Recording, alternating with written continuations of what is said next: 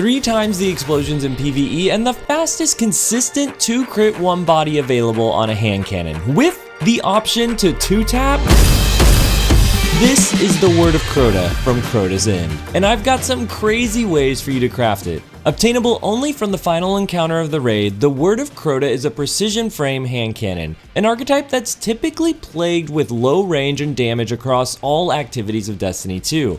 However, with this ridiculously awesome perk pull, we're going to change that. And I'm telling you, if you have avoided 180s, this could be the one that changes it for you. In both PvE and PvP, this is the first time ever I'm having a blast with a 180. The Word of Crota has so many never before seen perks and perk combos, it's hard to walk away with a bad one. That said, there are a few I found to stand above the rest, so let's start with the stats to understand the weapon and then the perks and PvP and PvE god rolls to craft or look out for. Stats wise, the Word of Crota is very similar to Posterity, which is a great thing because I think many will agree Posterity is one of, if not the best 180 hand cannon we have in Destiny 2. We've got great stability, aim assist, handling, and recoil direction for the archetype, but the Word of Crota lags behind in one stat in particular. It has a range stat of 31 compared to Posterity's 39. Keep in mind that in-game, this is only 0.37 meters of difference in damage fall off, so knowing this, I played around with a max range, full bore, accurize, range masterwork roll, and I didn't even notice the damage drop off distance from my roll that only had accurize. I actually preferred my roll with a bit more stability and handling.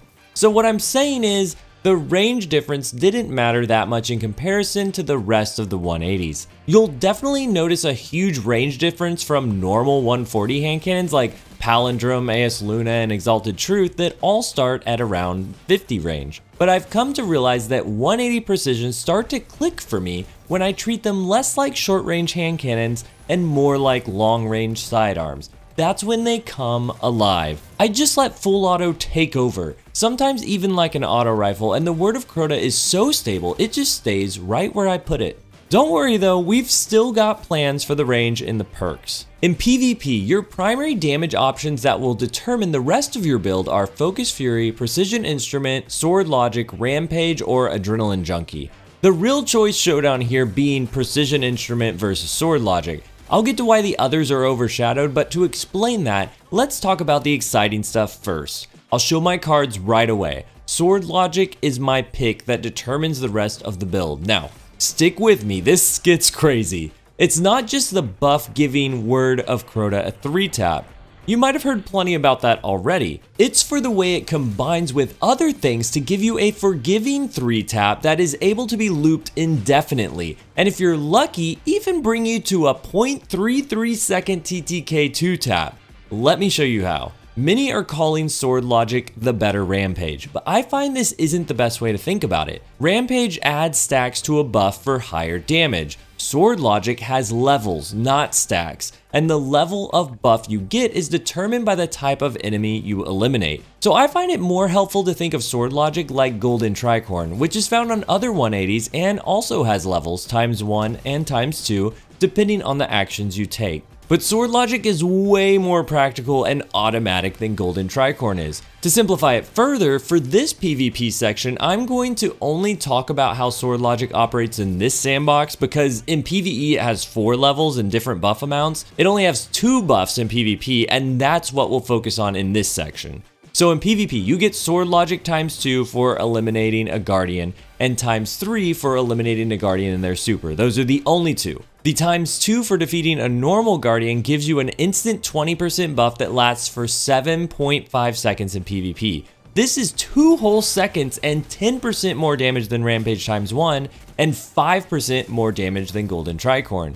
You may think that small bit of extra damage isn't important because other 180s with Golden Tricorn can 3-tap with their 15% buff as well, but the 20% buff from Sword Logic allows you not only to get a 3-tap, but also a 2-crit, 1 body on opponents up to 5 resilience. Neither Golden Tricorn or Rampage times 1 can do that. Even still, up to 5 Resil isn't good enough for me, so by running just 2 Void Surge mods and a Reaper mod, I can pick up an orb whenever I get my first Elim to bump Sword Logic up enough to 2 crit 1 body any Resil. This right here, this forgiveness of a 3-tap is what makes the Word of Crota special in PvP. And it's what's got me hooked. I've gotten so many kills that I would not have got if I was only getting 3 taps with crits. And it gets better. Sword Logic times 2 can be refreshed back to the top of the timer every time you get another elimination. It doesn't move up levels like Rampage, it just stays at times 2 the whole time and refreshes your 7.5 second timer. 7.5 seconds is plenty of time for you to get to your next target compared to the 4.5 seconds of Rampage or 5 seconds of Kill Clip. Harmony is another common perk that gives you a 7 second 20%, but it can't be looped because once your time's up with that weapon, you're done. On top of all this, Sword Logic can be stowed with the weapon while you have the perk active. It doesn't deactivate Sword Logic, so if you're in a primary fight where you got Sword Logic up, then you get pushed and you need to whip out your Shotgun or Fusion, you can safely do so and return to your Sword Logic buff to keep slaying. So, that's a very forgiving 3-tap that's activated on just one elimination that works on any resilience level that can be looped to continue your streak with every elim and that can be stowed and brought back out without deactivating the perk. And it just keeps going further. The 2-tap. Real fast, before I explain this, if you've enjoyed the content from this video or any of my others, be sure to leave a comment and check to make sure you're subscribed. Okay, the 2-tap, and an even easier 3-tap. Now, this will be infrequent, but it's so, so crazy and potentially more applicable than you might think because you don't have to change anything with your setup. Other 2-tap, 1-tap damage stacking builds require you to change your build and playstyle to even do them once, but this could just happen if you just see the opportunity, and if it does happen, you can keep that 2-tap going for a very long time. Okay, so not only can you activate a 20% buff with Sword Logic times 2, you can activate a 35% buff at Sword Logic times 3 by slaying a Guardian in their super. And the buff lasts for 10.5 seconds and can be refreshed through normal Guardian kills. This creates an easy 2 body 1 crit 3 tap or a 2 tap up to 8 Resil with a Warlock Rift, or even a 2 tap against any Resil with a buff like Weapons of Light, allowing you to flow around the map with your 2 taps until your Weapons of Light runs out, and even then you're back to your crazy good 3 tap. That's ridiculous and could easily just randomly happen in quick play if you run through a bubble and knock a super. Or if you're the Titan yourself, you can just hold on to your super and pop it once you get a kill on a super. The only other thing that can do the fast 182 tap is Golden Tricorn times 2 and you have to jump through so many intentional hoops to make that happen. Plus, Golden Tricorn times 2 can't be looped on kills, only abilities, so you never have it up for long in PvP even if you do get it. Sword Logic's 35% buff after a super can be refreshed by just slaying normal guardians. And it brings the buff back all the way up to 10.5 seconds. That's ridiculous. After I mathed this out, I looped the 2-tap buff for 36 seconds on my very first in-game test. So yeah, infrequent, but if you got it going, oh my gosh, who knows how long you could keep it. Please tag me in the clip on Twitter or something all of this, not just the gimmick stuff, but the very forgiving 3-tap that can be looped with a single kill is why Precision Instrument pales in comparison to Sword Logic. Precision Instrument is the new perk that stacks a buff every shot you deal damage, up to 25% total damage buff. You don't get that full damage right away, Every time you deal damage, you get a portion, 1 6th of that total 25% damage added to your next precision hit. So the first headshot will be 60 damage like normal, and your next one within 1.25 seconds will be 62.5 damage from a 4.16% buff. Then the next bullet will have an 8.33% buff and it will continue on until you max out at 25% or you stop hitting shots within that 1.25 seconds. Here's where some are making the mistake of calculating their precision instrument 3 tap. They're calculating from the damage of the third bullet and thinking it can 3-tap any resilience level, but that's not how this works. It escalates every shot, and so you have to manually account for every bullet. Fortunately for you, I've done that and can tell you it only lets you 3-tap up to 2 resil.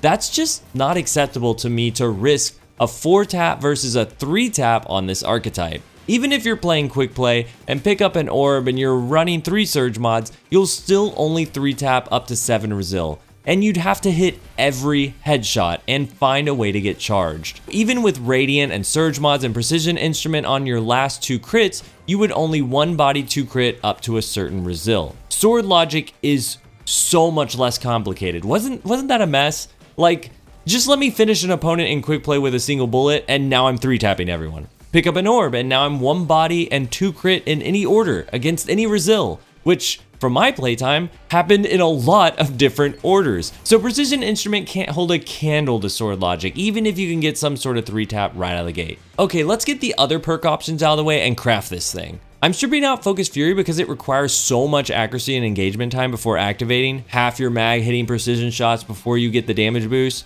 It is a great boost, 20%, but that's how much Sword Logic will offer for just one kill. We talked Rampage already, and the only thing left for PvP is Adrenaline Junkie, which can get a nice 33.3% buff with a grenade kill, but the timer's only 4.5 seconds. Again, just no comparison to Sword Logic. Yeah, there's Demolitionist and Adrenaline Junkie, but this 1 second TTK base weapon isn't the place for it. You can find that better somewhere else. I have to mention too, there is a ridiculous combo of Dragonfly destabilizing rounds and the raid origin trait Curse Thrall. I'll talk about it more for PvE, but in PvP, this triple explosion could easily eliminate any enemy in close proximity. You just have to get a melee kill beforehand to get it all ready to go at once. Pretty hilarious meme build.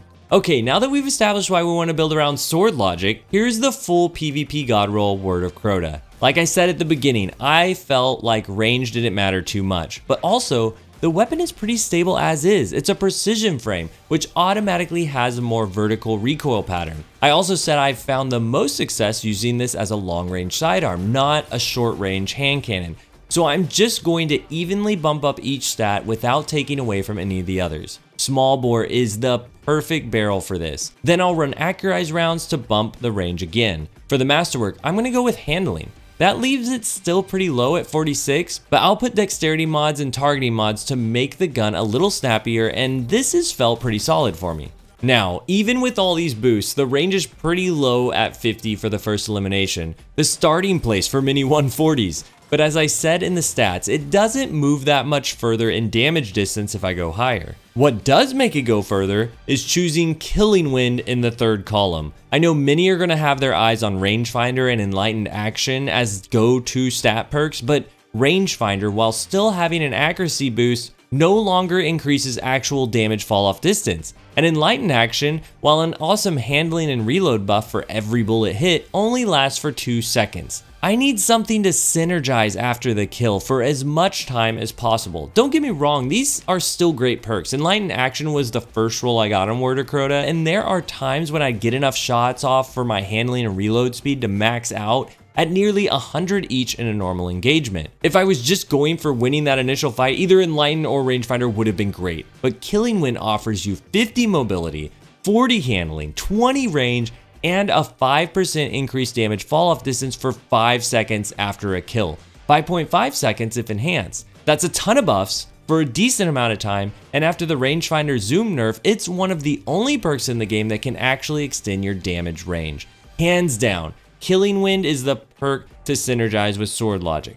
On top of all this, I'd run a targeting weapon mod and at least two targeting adjuster mods to boost the aim assist a bit more, since the recoil direction is already 100. So when I get a kill and begin my 3 tap streak, all my stats are boosted to 70 range, 66 stability, 86 handling with 91 aim assist and 100 recoil direction. I need y'all to take a look at these stats for a minute because these are the stats of a fast 1 body 2 crit 180 hand cannon. This is my PvP god roll Word of Crota. Now, some PvE madness. I kid you not, I've started maining Word of Crota if I need a primary energy weapon. I don't know that I'd call it the best at anything, but I would definitely call it viable and more than anything, fun. Which, isn't that what we're gaming for? For PvE, I'm immediately eyeing Demolitionist and Adrenaline Junkie. If you've got a grenade heavy build, you can go to town with that combo. You can double down on the synergy if you've got mods or aspects that let your grenade kills regen your melee energy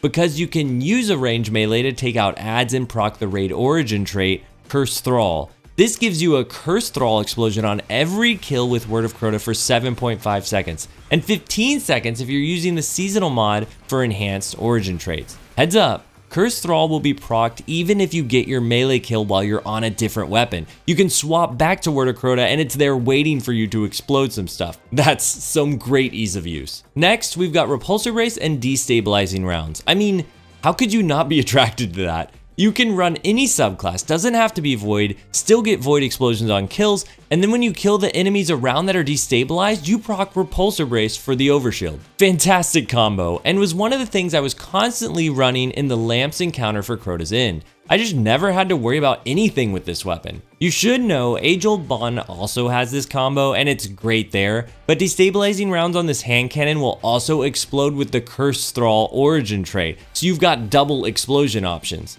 Not only can you double down, you can triple down on explosions with Dragonfly, Destabilizing Rounds, and Curse Thrall. I feel like this is peak Destiny, right? Like, how much better can it get than a triple explosion? Now, I was really hopeful that Destabilizing Rounds might chain reaction with Curse Thrall and Dragonfly for unlimited explosions, but it doesn't quite work that way due to the rounds cooldown timer. However, the destabilizing rounds does sometimes apply before Dragonfly, and so occasionally, you'll get the Dragonfly explosion to set off the destabilized targets near the initial explosion for four total explosions. I know this will never be PvE meta, but come on, that's hilarious.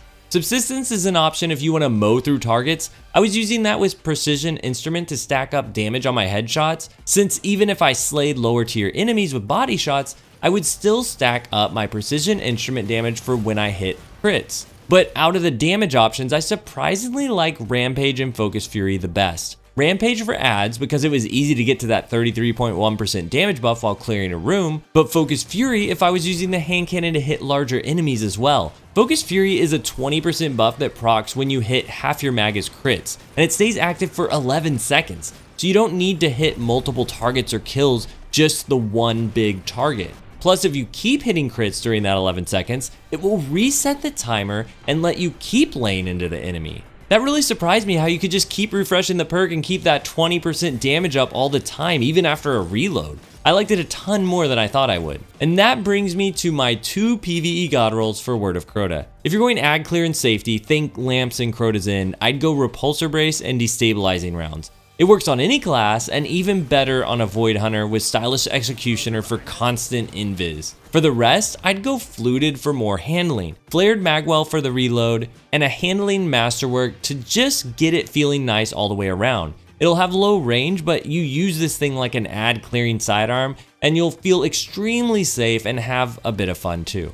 If you want to boost the fun, replace Repulsor Brace with Dragonfly and have a field day with the triple explosions. The second craft is Enlighten Action and Focus Fury. This is for using Word of Crota against larger targets, or if you know you'll be running your Falcons and just want more damage to your shots. Focus Fury gives you that 20% buff that can be constantly refreshed regardless of how many ads are around. And Enlighten Action immediately starts granting you tons of handling and reload as soon as your first bullet hits. All the way to 100 handling and 100 reload. I was really impressed by this one also. I'd still run Fluted and Flared Magwell for when Enlightened isn't active, but I'd swap the Masterwork to range so we don't worry about damage fall off as much. Weapon mod will be your choice. I hated 180s before Word of Crota. I can't even tell you the last time I used one, and now I'm genuinely thinking of adding this to my primary weapon rotation that I pair with fusions in PvP, and whipping one out to have fun in PvE as well. Let me know what you think. This has been Legoleflash. Until next time, GG.